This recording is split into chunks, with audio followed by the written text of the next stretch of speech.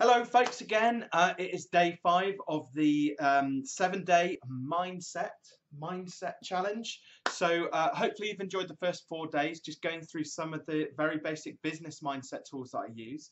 Um, I tend not to deal with the life coachy sort of mindset tools necessarily. Um, I tend to focus more on the business mindset, the sorts of things which hold us back from making more money, creating more time, and those sorts of things. The things that we're afraid of in business, the things that we fear in business, hence fear less. Um, so well done for getting this far because I know that um, doing the seven day challenges is quite a big commitment. So thank you for persevering. We're on day five. We're on the home stretch now. This this uh, today's model is a very very simple mindset tool, um, uh, which is perhaps one of my favorite. So what I want you to do first and foremost is imagine your perfect client for a second. How much money would they spend with you on an annual basis? And then multiply that number by 10. So now what we've got is 10 of your perfect clients. In actual fact, I've got a minibus parked outside your house or your office right now with those 10 perfect clients sat on it. Each one of them has got a little black satchel full of cash. And all you've got to do is pay me some money to go outside into that minibus and bring those 10 perfect clients into your office empty their black satchels out onto the desk. So you've got to give me some of that money. So how much would you give me? And if it's like a fiver, then that's not good enough. Most people at this point come up with a figure. So let's say, for example, there were um, the average client was worth a thousand pounds. Uh, I've got 10 of those clients, so they're worth £10,000 over the next 12 months that they would potentially give me somewhere between 10 and 20%. So a thousand and two thousand pounds to go out there, grab those clients, bring them in, empty their satchels out, and you're just going to hand, hand over uh, a wad of cash to me. Say thank you very much, thank you for finding those clients, and off we go. My point is, and this is where it becomes a mindset sort of shift, is that the only reason why you would be willing to give me that cash, and there are a couple of people who do get quite skeptical because they're like, oh, it's too good to be true. Well, it probably is but the reason why people would be willing to give me that cash is because I have guaranteed them the clients. They're sat in my minibus, I'm going to bring them in here, and then away we go. The difference is when we get to that that third core pillar of our, our business, the marketing side of things, that and I said this in yesterday's um, uh, during during yesterday's uh, day four of the seven day challenge, um, that business is very unpredictable within reason. Uh, and it's not necessarily the business that's unpredictable, it's actually people that are unpredictable. So if you know your numbers, you should be able to, and you've started to work out how where you've got to market. So uh, you know where does your ideal client hang out, um, and um, the fact you know make it easy for yourself. So you've got to go to them, um, and you're showing up there regularly and often. That you can start to manipulate and create 70 10 2 and there may well be two or three places where you market currently that are far, far beyond outstripping the performance of any other types of marketing activities which you're currently doing. Very typically, it's Pareto principle. And we, we don't spend any time really analyzing the really successful forms of marketing that we do. So for me, it's speaking at events. Provided I speak at events, it raises my profile, loads of people tweet about it.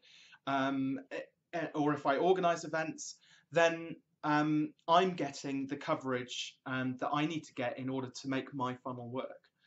Um, there may be other ways that work for other people email marketing, text, SMS marketing, marketing uh, Facebook marketing, Instagram, like YouTube. There could be any number of different ways, like Google Ads. But what, what we try and do is we're always looking for more and more and more and more. But what we've got to do is look for satisfactory in this instance. We're not going for some like crazy outlandish goal where we're growing this like seven figure business, like million pound business, unless you already are a million pound business and you want to grow or you're close to it. What we're trying to do is create consistency within our business. Um, and the only way to do that is to um, grow gradually. And the only way to grow gradually is to know our numbers inside and out. So we want to know where we want to get to. We've got to know where we are now. And that then creates that journey that happens in between it.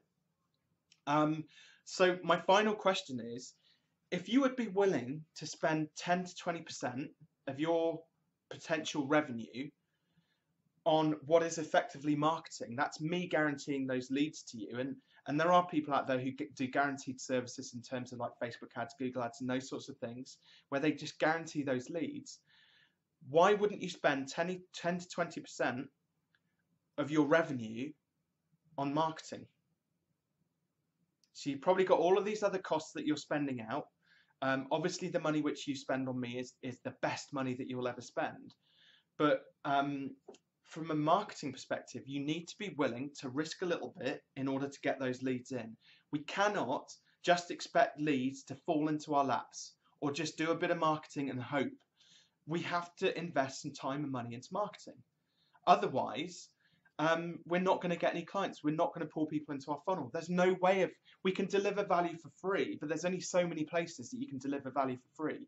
It's why I've got a whole raft of different assets which I, I give out consultations, books, events, all sorts of things like that. Um, and, and videos, podcast interviews, and uh, just I do a ton of like free stuff basically because it appeals to lots of different audiences. But I build assets that kind of work for themselves. Um, but the one real activity that I know gets me clients or get books consultations, so remember marketing, sales, delivery, is the speaking gigs. That works for me. Now that may not work for you. In order to get to a point where I knew that speaking gigs worked for me, there was a shit ton of trial and error which went into that process. I've tried so many different ways of marketing over my 14 years in business, from advertorials in magazines to um, uh, to even radio advertising. We tried at one point um, to uh, I've tried Facebook advertising, Google advertising, we've tried um, ad placements, we've there's just so many different things that we've tried over the years. And like marketing is just trial and error. And you have to get over that. Like you're not going to get a return on investment on every penny that you spend. It's just that simple. So um, but you have to be prepared to spend something. So that's the that's the mindset shift. Is that we'll buy something if it's guaranteed, but we're not. We've got to be open to risk when it comes to marketing, trial and error, and to spend a bit, speculate to accumulate. That's why that term exists. Um, so. I had a couple of um, very simple questions which I've got lined up for you in the worksheet. So go and download the worksheet. Make sure you feedback the answers into the, um, the Facebook group, the Facebook Live um, uh, comments um, uh, feed. And uh, I will catch up with you on the penultimate day, day six of the seven day mindset challenge. And um, I hope that you're already starting to, to see some shifts in your way of thinking around your business. In fact, I'm inviting you to try and allow a shift to happen.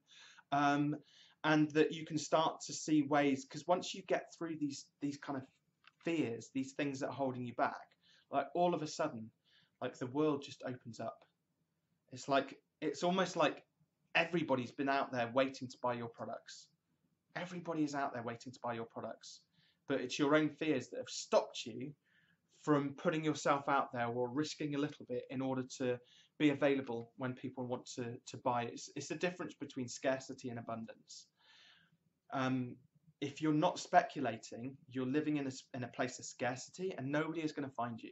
You're not going to attract people when you're in a place of scarcity. You've got to be abundant. You've got to be willing to speculate. You've got to be willing to put yourself out there and take a little bit of a risk. Anyway, I've just um, rambled on a little, bit more there than I should have done. But um, download the worksheet. Uh, I shall see you tomorrow, day six of the Mindset Challenge, penultimate day. One more day to go after that. Uh, and um, then we'll catch up later on. Cheerio.